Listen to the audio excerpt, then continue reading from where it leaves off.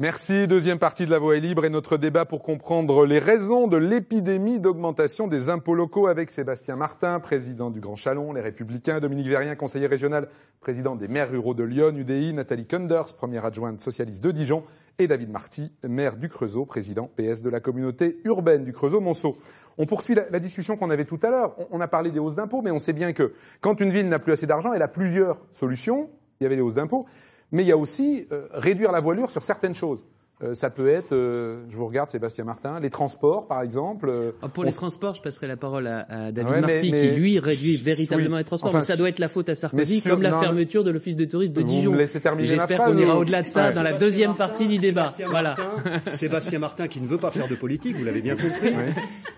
voilà, n'est pas le dernier à relancer le sujet, donc je suis prêt à débattre avec lui. D'ailleurs, je vois qu'il s'intéresse beaucoup à la communauté urbaine, particulièrement à la troisième circonscription. Je me demande ah, pourquoi. Ça y est, donc, je suis prêt à débattre. Bon, y compris sur les transports à Chalon. Alors on va on va pas vous laisser faire tout un débat là-dessus, mais quand même, on parle des transports à Chalon. On sait qu'à Chalon, il y a eu plein de manifs euh, à propos de la, modification euh, d'une ligne de bus.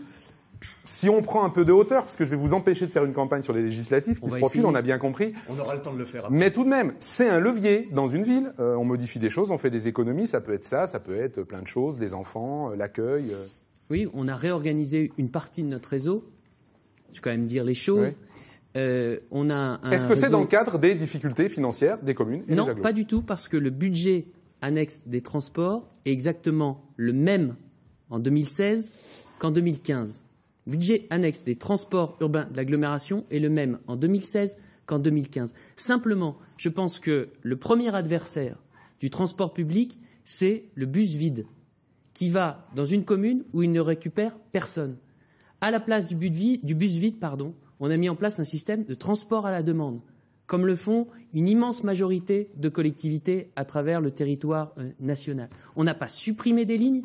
Sur les lignes où euh, les bus allaient trop loin et étaient vides, on a mis du transport à la demande. Voilà ce que l'on a fait. Ça n'a pas l'air de plaire à tout le monde. Ça n'a pas l'air de plaire à des gens qui doivent aujourd'hui euh, s'adapter à un changement. Point alors, Alors je, vous, propose. Et j'ai jamais émis d'autres remarques par rapport à ce Mais il y, a eu, il y a quand même eu pas mal d'ébullitions et il y, en a encore. Jamais directement contre le président de la communauté urbaine, car je me, car jamais je ne jugerai ce que fait un de mes collègues dans une autre collectivité. de la communauté urbaine est portée par son président. Donc quand on attaque la communauté urbaine, on attaque son président. Je n'ai jamais attaqué la communauté urbaine. J'ai par contre, notez que, certains élus, que certains élus qui, à Chalon, vous vous êtes intéressé au transport de la communauté urbaine, la communauté urbaine. Vous vous êtes intéressé au transport de la communauté urbaine en portant un jugement.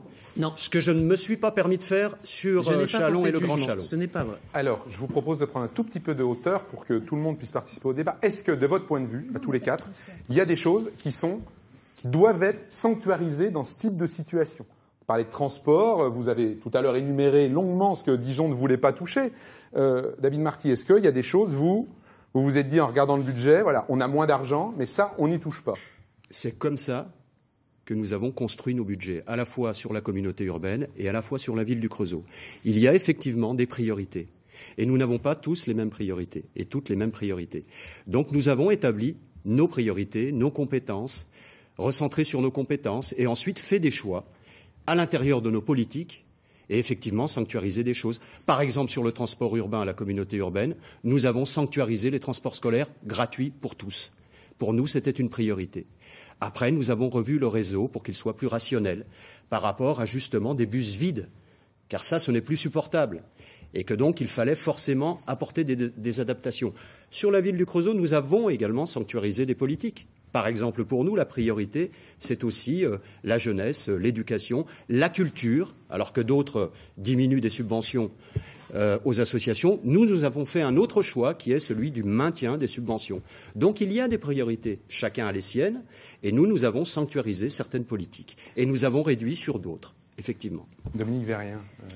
Alors nous, euh, alors on n'a pas trop de problèmes de transport puisque nous n'avons pas de transport, donc c'est beaucoup plus simple. Hein. Malheureusement d'ailleurs, hein, parce que je pense que là encore, si on parle d'aménagement du territoire, avoir un transport alors adapté, il est évident qu'on ne va pas avoir un bus toutes les demi-heures qui euh, nous mènerait à Auxerre, mais avoir euh, des transports adaptés pour faire qu'on puisse aussi vivre correctement à la campagne et que les parents ne soient pas obligés de faire des trajets immenses pour pouvoir emmener leur enfant à la musique ou au sport, ce serait plutôt une bonne chose. Mais euh, donc euh, la priorité, c'est les habitants, le service aux habitants, très clairement, enfin, en ce qui me concerne, hein, et ce qui va permettre aussi à la ville euh, de s'enrichir et de croître. Donc moi j'ai la chance d'être euh, dans la ville de Colette, vous le savez, donc il est évident que euh, le tourisme et tout ce qui permettrait de développer le tourisme, c'est ce qui permettra de développer également les commerces et donc de conserver des commerces en zone rurale, ce qui est très très important pour pouvoir conserver de la vie et donc des habitants. Des écoles, des enfants. nous parlions tout à l'heure des activités périscolaires. Chez nous, c'est un budget qui est qui, qui, pour vous euh, paraîtrait euh, euh, peanuts, mais pour nous c'est quand même relativement important puisqu'on doit mettre 20 000 euros euh, rien que rien que là-dessus, mais on a un budget de fonctionnement qui est de 800 000 euros, donc 20 000 ça n'est pas négligeable, mais parce qu'on a fait le choix pour les enfants de mettre un service de qualité en place.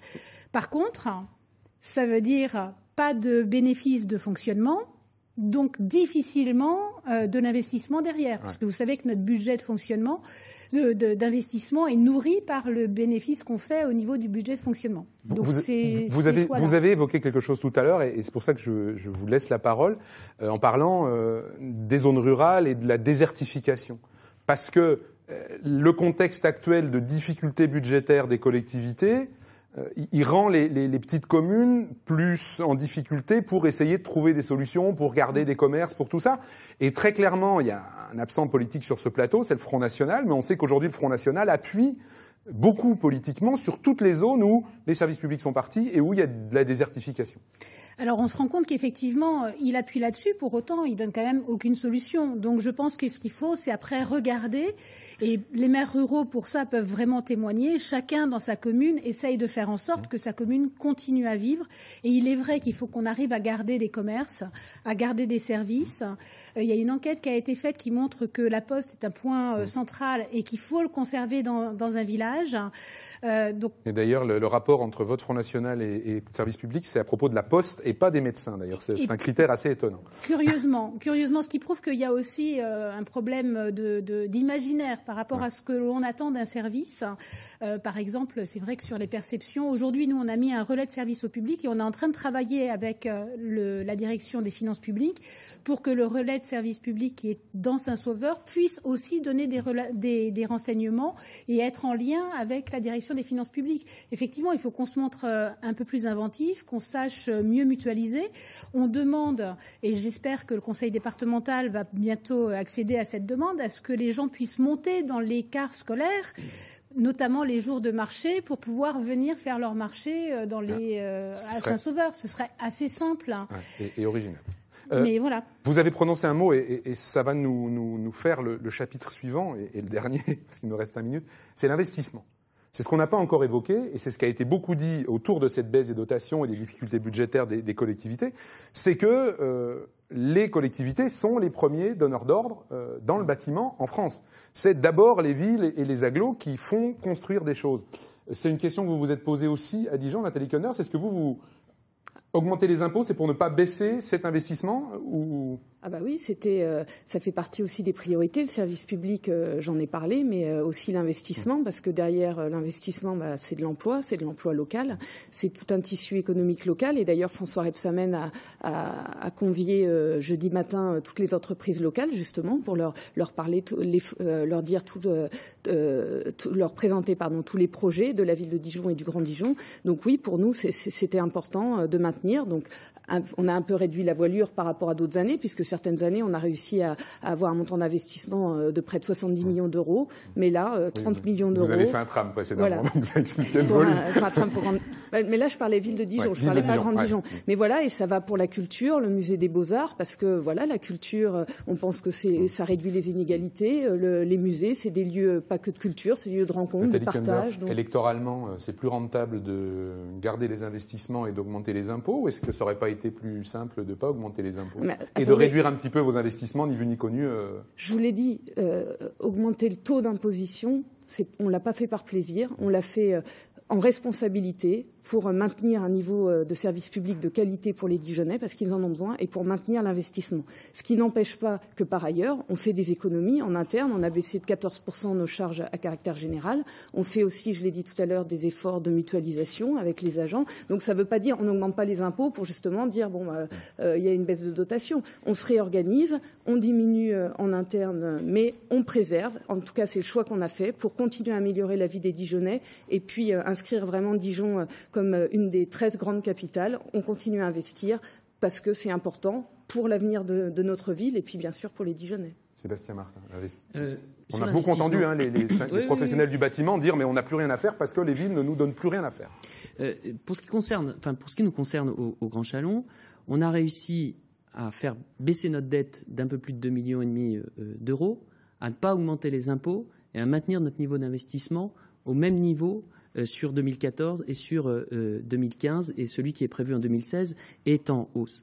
Ça veut dire que euh, simplement la variable d'ajustement, je pense, de l'investissement est un raccourci qui peut être euh, un petit peu facile. Je pense qu'aussi, euh, dans nos territoires, on doit s'habituer et mettre en place des vraies stratégies de cofinancement qu'on ne fait pas toujours, que nous, on ne faisait pas toujours. Je ne parle pas des autres, de, mes collègues et de mes voisins, mais arrivé, voilà, on va rénover l'espace des arts, on est soutenu à hauteur de deux tiers, euh, sur des crèches, etc., etc. On a des taux de subventionnement qui sont euh, importants parce qu'on a su mobiliser euh, les partenaires. Et là-dessus, j'en reviens quand même à ce qu'on se disait tout à l'heure.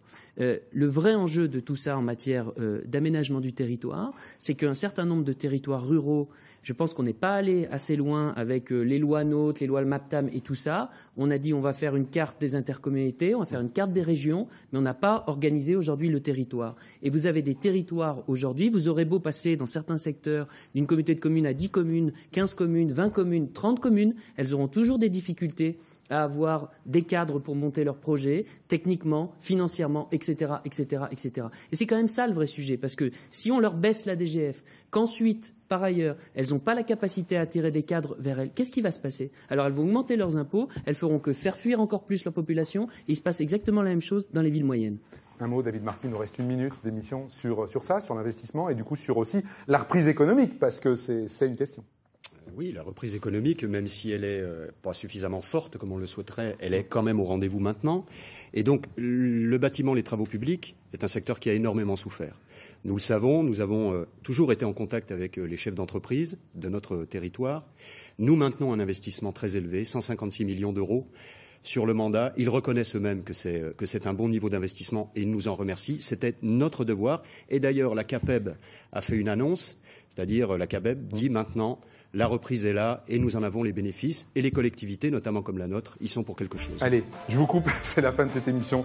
Euh, merci à tous les quatre d'être venus débattre. On aurait pu en parler longtemps parce que c'est un sujet euh, complexe. Merci à vous. Je pense qu'on n'a pas été trop technocratique sur ce sujet. Merci, bon week-end, au revoir.